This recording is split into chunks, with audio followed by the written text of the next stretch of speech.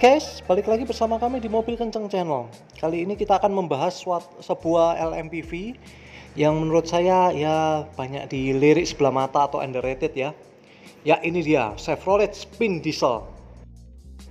Nah, Chevrolet Spin sendiri itu merupakan segmen LMPV ya atau low MPV di mana memiliki dua varian mesin yaitu mesin bensin berkapasitas 1500 cc ada automatic dan manual yang saya review kali ini adalah yang bervarian diesel, tapi hanya bertransmisi manual.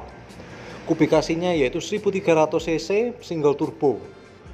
Ya, kita coba nih seberapa iritnya, seberapa nih kenyamanannya juga. Tapi sebelumnya yuk kita cek spesifikasi mesinnya.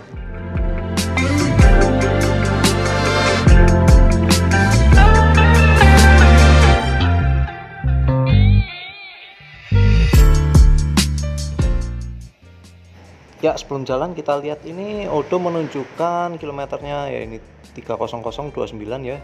Average-nya udah saya nolkan dan sekarang solar pada level ya satu stripnya hilang di bawah setengah ya.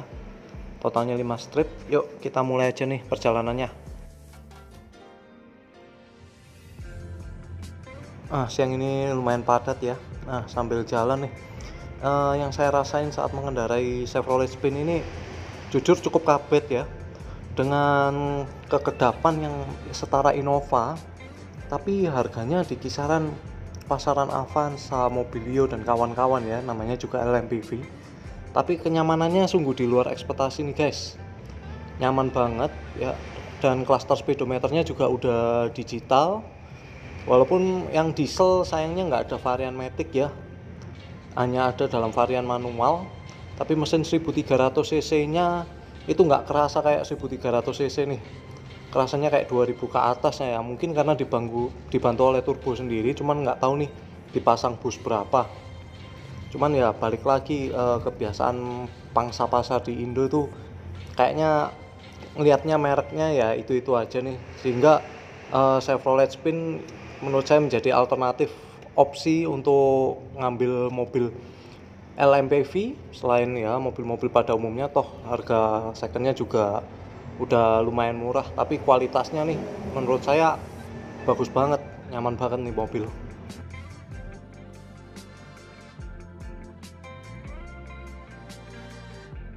Nah pengetesan dalam kota udah selesai nih. Kita jalan sekitar 56 kilo ya tadi 29 uh, sekarang 85 ini kita udah review dapatnya 4 liter. Tadi awalnya saya ngisi 3 liter tapi belum balik. Ya bisa didapat. Ternyata MID nya nggak sesuai. Ya harusnya 114 nih yang benar nih.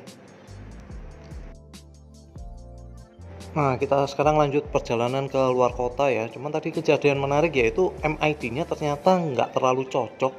Atau mungkin saja saya ngisinya ini yang agak kebanyakan. Karena kalau kita ngelihat nih satu barnya itu kan kotaknya gede-gede nggak kayak Civic FD kemarin barnya kecil-kecil dan banyak.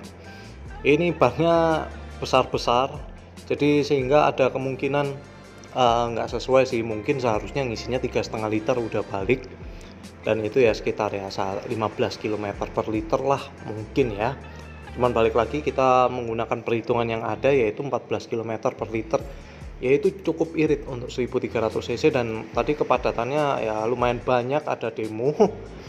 Mungkin tadi nggak nggak kerekam ya pas saya matikan kamera tadi. Oke okay, anyway sekarang coba kita lanjutkan perjalanan uh, keluar kota nih kita tes dulu nih. Seberapa nih konsumsi bahan bakarnya dari spin diesel ini? Yuk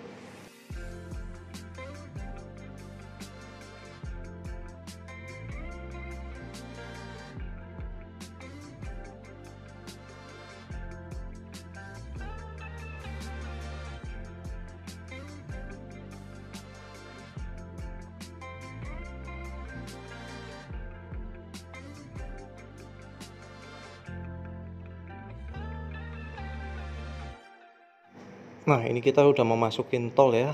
Masukin tol menuju ke arah Malang nih. Kebetulan rute hari ini kita menuju ke Malang ya. Uh, Bener-bener di luar dugaan sih Di luar ekspektasi. Tarikannya ternyata juga enak loh guys. Uh, Ke 100 nya juga nggak saya kira ya kan 1300 Itu kan sisinya kecil. Kalau busnya dibesarkan harusnya lagnya kerasa banget. Cuman ini eh, nggak terlalu kerasa powernya lumayan lah. 0 ke 100 nya cepet banget tadi lumayan cepet. Untuk ukuran mobil 1300 cc saya bisa bilang apalagi diesel ya ini cepet sih. Torsi 190 Nm dan ya bobotnya sekitar 1500an lah 1500 kilo ya. Enak banget ini mobil ya. Jadi uh, underrated banget. Saya benar-benar nggak nyangka nih ini di luar dugaan banget ini.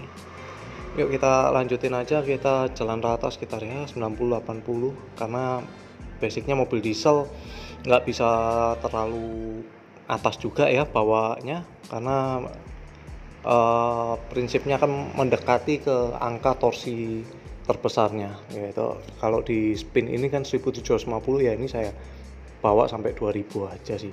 Karena lewat dari itu cukup boros sih jadinya nantinya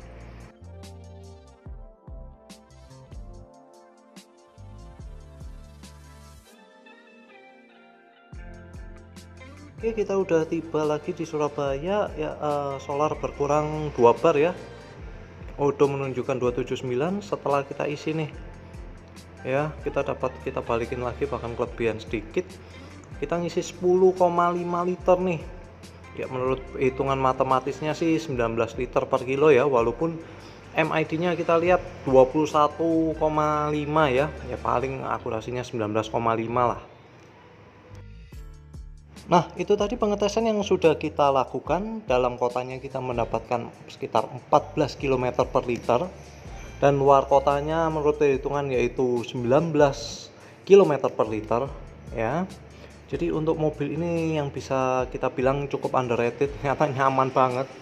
Dan irit sih, teknologinya bukan kaleng-kaleng dengan hanya 1300 cc turbo diesel. Ini terbilang enak dan irit uh, bisa menjadi alternatif untuk kalian yang ingin mengambil LMPV second ya karena ini Chevrolet Spin udah nggak keluar baru lagi. Ya sudah tidak keluar baru lagi. Kita uh, kalian bisa mendapatkannya second dengan harga yang menarik sih udah murah ya. Anyway guys thanks udah nonton channel mobil kenceng. Jangan lupa like dan subscribe nya terus tonton channel kami. Setiap minggu banyak video yang menarik konten-konten menarik yang akan tayang selanjutnya. Oke okay guys See ya.